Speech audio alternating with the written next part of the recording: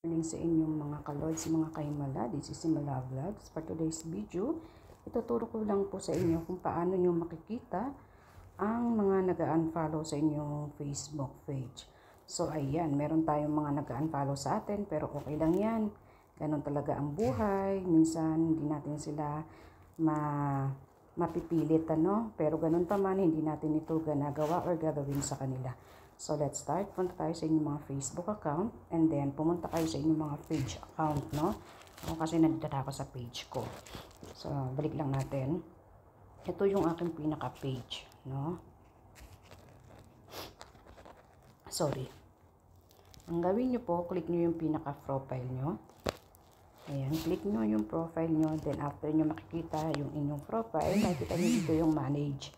So, click manage account. Then, after nyan, scroll nyo lang po pababa.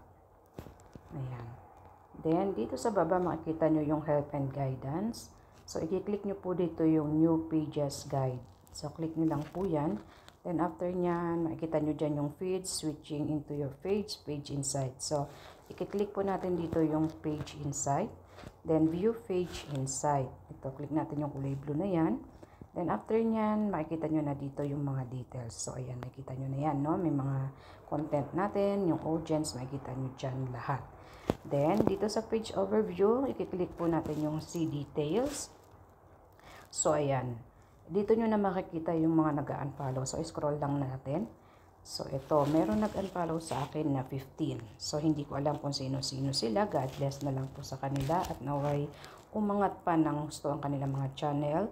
No? Tayo po ay hindi natin ugali ang mag unfollows kahit po sa aking YouTube channel. Hindi po ako nag uh, nag-unsubscribe kahit po nahirapan akong mag-subscribe. So, gumagawa ako ng ibang account ko para ma-subscribe ko sila. But uh, hindi po ako nag-unsubscribe. Ganon din po dito sa ating Facebook account.